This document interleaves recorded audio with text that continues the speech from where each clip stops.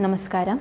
Covid nineteen പടർന്നുകൊണ്ടിരിക്കുന്ന ഈ ഒരു സാഹചര്യത്തിൽ നമുക്ക് ചെയ്യാവുന്ന ഒരു കാര്യമാണ് ഇടയ്ക്കിടയ്ക്ക് കൈകൾ സോപ്പ് വെള്ളം ഉപയോഗിച്ച് നന്നായി വൃത്തിയാക്കുക എന്നുള്ളത്. എന്തുകൊണ്ടാണ് സോപ്പ് വെള്ളം? പലരും ആലോചിക്കുന്നുണ്ടാവും എങ്ങനെയാണ് സോപ്പ് വെള്ളം വൈറസിനെ നശിപ്പിക്കുന്നത് എന്ന്. ഈ ഒരു കാര്യത്തെക്കുറിച്ചാണ് ഞാൻ ഇന്ന് നിങ്ങളുമായിട്ട് ഷെയർ ചെയ്യാൻ പോകുന്നത്. സോപ്പ് വെള്ളം എങ്ങനെയാണ് വൈറസുകളെ നശിപ്പിക്കുന്നത് എന്ന് മനസ്സിലാക്കണമെങ്കിൽ കൊറോണ വൈറസിന്റെ സ്ട്രക്ചറിനെ കുറിച്ച് ചെറിയൊരു ധാരണയുണ്ടാവണം. നോവൽ കൊറോണ വൈറസിന്റെ ഷേപ്പ് എന്ന് പറയുന്നത് സ്ഫെറിക്കൽ ഷേപ്പാണ് അതായത് ഉരുണ്ടാകൃതിയിലുള്ള ഒരു വൈറസാണ് ഇവ. ഇവയ്ക്ക് ഫാറ്റ് നിർമ്മിതമായിട്ടുള്ള ഒരു കവറിംഗ് ഉണ്ട് ഒരു ആവരണമുണ്ട്. ഈ കവറിങ്ങിന് പുറത്ത് നിറയെ മുള്ളുകൾ പോലെയുള്ള പ്രോട്ടീൻ നിർമ്മിതമായിട്ടുള്ള മുള്ളുകൾ പോലെയുള്ള ഒരു സ്ട്രക്ചർ ഇവയ്ക്കുണ്ട്. ഈ മുള്ളുകൾ പോലെയുള്ള സ്ട്രക്ചറാണ് ഇവയ്ക്ക് മനുഷ്യ ശരീരത്തോട് ചേർന്ന് പറ്റിച്ചേർന്നിരിക്കാൻ സഹായിക്കുന്നത്. ഏതെങ്കിലും സാഹചര്യത്തിലൂടെ ഈ വൈറസുകൾ നമ്മുടെ കയ്യിലെത്തുകയാണെങ്കിൽ ഈ മുള്ളുകൾ പോലുള്ള ആ ഒരു ഭാഗത്തിന് സ്ട്രക്ചറൽ ചേഞ്ച് സംഭവിക്കും രൂപമാറ്റം സംഭവിക്കും. ഈ ഒരു രൂപമാറ്റം ഇവയ്ക്ക് ഇവയുടെ വൈറൽ മെംബ്രെയിന് നമ്മുടെ സെൽ മെംബ്രെയിനുമായിട്ട് ഫ്യൂസ് ചെയ്യാനായിട്ട് സഹായിക്കും. നമ്മൾ വെറും വെള്ളം ഉപയോഗിച്ച് സാധാരണ വെള്ളം ഉപയോഗിച്ച് കൈകൾ കഴുകുകയാണെങ്കിൽ ഈ വൈറസുകൾ ഒരിക്കലും നശിച്ചു പോവില്ല. ഈ വൈറസുകൾ നമ്മുടെ കയ്യിൽ തന്നെ പറ്റിച്ചേർന്നിരിക്കും.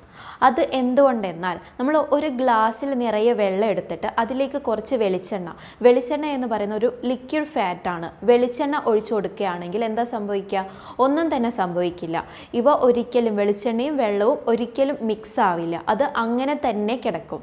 എന്നാൽ ഈ ഒരു ലായനിയിലേക്ക് കുറച്ച് സോപ്പ് ആഡ് ചെയ്ത് കൊടുത്തിട്ടുണ്ടെങ്കിൽ ആ വെളിച്ചെണ്ണ ഈ ഒരു ലായനിയിൽ അലിഞ്ഞു ചേരുന്നതായിട്ട് ഡിസോൾവ് ആവുന്നതായിട്ട് നമുക്ക് കാണാൻ സാധിക്കും. അതെന്തുകൊണ്ടെന്നാൽ സോപ്പിന് ടു സൈഡഡ് മോളിക്യൂളാണുള്ളത്. അതിൽ ഒരു സൈഡ് വെള്ളത്തിനെയും മറ്റേ സൈഡ് ഫാറ്റിനെയും അട്രാക്റ്റ് ചെയ്യും. അങ്ങനെ വെളിച്ചെണ്ണ കലർത്തിയ വെള്ളവുമായിട്ട് ഈ സോപ്പ് മോളിക്യൂൾ കോണ്ടാക്റ്റ് വരുന്നത് വഴി ഈ വെളിച്ചെണ്ണയെ ഡിസോൾവ് ചെയ്യും.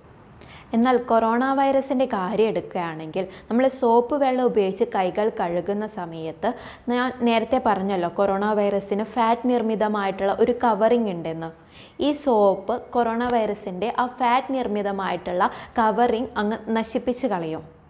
അതുവഴി ആ കവറിംഗ് നശിക്കുന്നത് വഴി കൊറോണ വൈറസും നശിക്കും. ഇങ്ങനെയാണ് സോപ്പ് ഉപയോഗിച്ച് കൈകൾ കഴുകുന്നത് വഴി കൊറോണ വൈറസ് നശിക്കുന്നത്.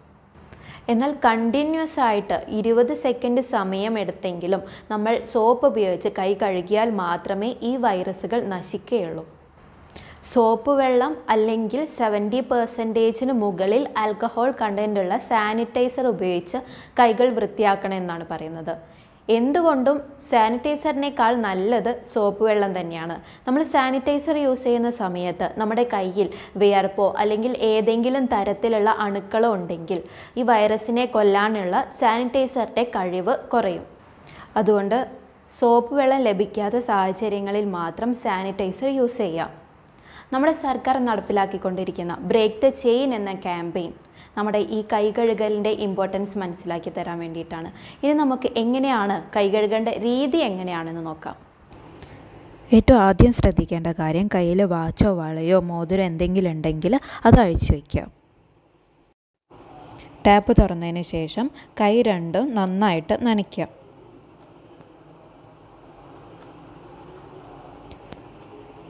ബാർ സോപ്പ് തന്നെ വേണമെന്ന് ഒരു നിർബന്ധമില്ല ലിക്വിഡ് സോപ്പാണെങ്കിലും കുഴപ്പമില്ല. ഹാൻഡ് വാഷ് കയ്യിലെടുത്തതിന് ശേഷം നന്നായിട്ട് പതപ്പിക്കുക.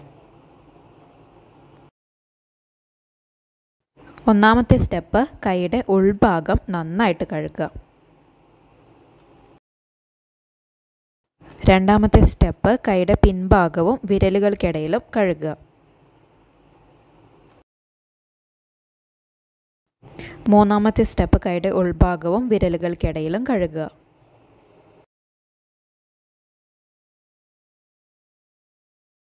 നാലാമത്തെ സ്റ്റെപ്പ് കൈവിരലുകൾ ഇന്റർലോക്ക് ചെയ്ത് പിടിച്ചതിന് ശേഷം കഴുകുക.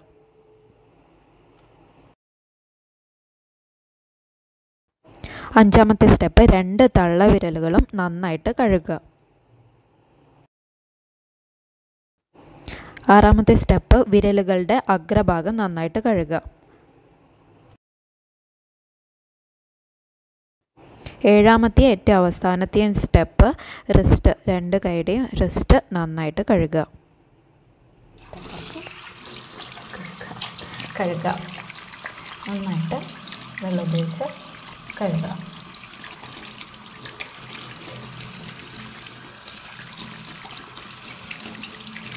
കഴുകുമ്പോൾ നമ്മൾ സിങ്കിന്റെ സൈഡിലൊന്നും തട്ടാതെ എവിടെയും തട്ടാതെ ശ്രദ്ധിക്കണം.